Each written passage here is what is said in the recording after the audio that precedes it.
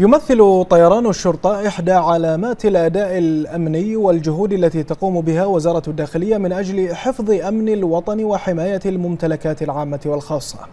في هذا الإطار يعمل طيران الشرطة على مواكبة أحدث المعدات والبرامج العلمية والتدريبية لإتمام المهام والواجبات الموكلة إليه بأعلى درجات الدقة.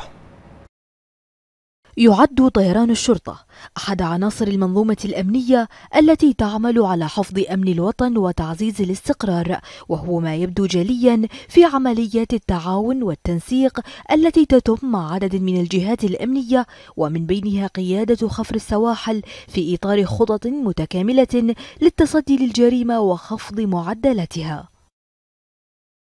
طبعا هناك تعاون مستمر بين قيادة طيران الشرطة وكافة آه، الإدارات التابعة لوزارة الداخلية بالإضافة إلى المديرات الأمنية. آه، ويتم هذا التعاون من خلال المراقبة الجوية آه، المسح الأمني أيضا عندنا التصوير. وطبعا هناك أيضا واجبات يقوم بها طيران الشرطة. بالنسبة لنا تكون رئيسية وأهمها يكون البحث والإنقاذ. عندنا المسح الأمني للحدود. مراقبة الحدود الإقليمية. آه، عندنا أيضا التصوير الفوتوغرافي.